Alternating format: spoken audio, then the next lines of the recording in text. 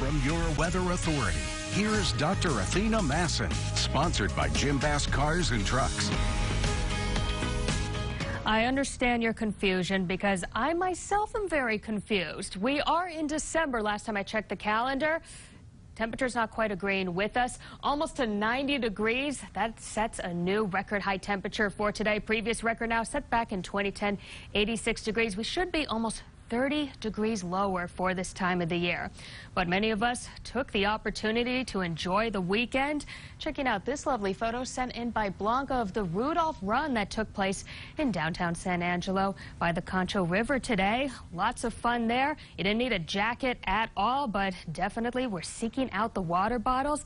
And then check out these beautiful sunsets that were taken across the Concho Valley today. Thank you to Dennis, Tim, Sherry, Patty, and Marquita. Head on over to ConchoValleyHomepage.com to get a better view of these masterpieces and continue to share those viewer images with us. We love to share them.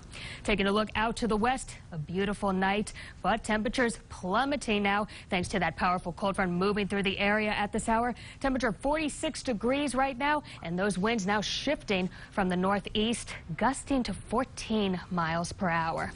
Temperatures across the Concho Valley into the 40s we go for our northern counties. 44 out towards Sterling City, 42 in Robert Lee, 45 Ballinger at this hour. Still trying to maintain those 50s for our southern counties. 55 in Mason, hot spot Sonora at 56 degrees. Then outwards towards the west, 52 in Ozona, 50 degrees. Keep holding on to those 50s because pretty soon every one of us going down into the 40s and possibly the 30s. Take a look at your wind speeds across the Concho Valley. About 10 to 15 miles per hour starting to gust because of that powerful cold front pushing through the Concho Valley. Most of these now shifting from the northeast. Calmer conditions, Mason and Sonora, but they will start to pick up within the next couple of hours. Texas satellite and radar. There's that cold front that is pushing into the Concho Valley at this hour. This will continue to move southward and then towards tomorrow, starting to move eastward. And right to the north, next high pressure will be incoming into the state of Texas by tomorrow, setting itself up for the next few days. Sunshine will continue, but those cold temperatures continue.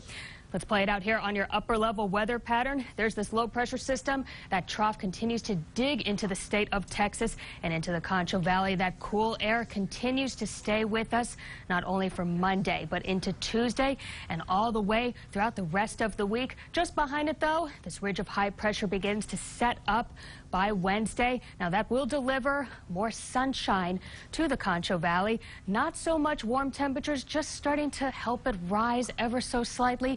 Not by a lot, though. Monday, that cold front continues to move through our southern counties, only rising to 55 degrees. Now it's Tuesday. Grab the jackets. Only 49 degrees for our high temperature, and then a slow increase upwards by Friday. Near average temperatures for this time of the year, about 64 degrees. Forecast for tonight, mostly clear, but a rapid cool down taking place. 36 degrees for your low temperature. And then tomorrow, say goodbye to the 80s and hello to the 50s. 55 degrees, much cooler, but remember to grab that jacket, especially if you are heading out to work and to catch the school bus. Seven day forecast, the sunshine continues to stick around 55 degrees, and then the coldest day, possibly on Tuesday at 49.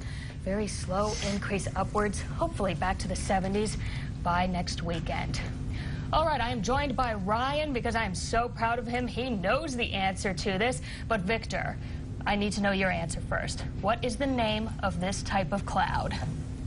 Um. An um cloud? Yes. An um cloud. A strato strato alto umcloudulus. okay, we're going to add that to the dictionary. Ryan, take it away. Well, I'm, I'm, actually really glad to be on this one. I took a weather and climate class at my time at Sam Houston State University, and Athena that is a mammatus cloud, a signal of severe weather. Yes, round of applause to Ryan. That is a mammatus cloud, in meaning mammary cloud. It is a cellular pattern of pouches typically hanging under cumulonimbus clouds. Now, they are often associated with anvil clouds and severe thunderstorms. Now, these formations were first described all the way back in 1894 and they may appear as smooth, ragged, lumpy lobes and may be opaque or translucent. But you don't want to see these clouds. That's really a sign of severe weather. Okay. Okay, that's all you have to Yeah, say. I mean, if you see some mammatus clouds, just take take cover. Get it, get indoors. we do see them a lot during severe weather season. We did see a few during the spring. I'm so glad to have learned this.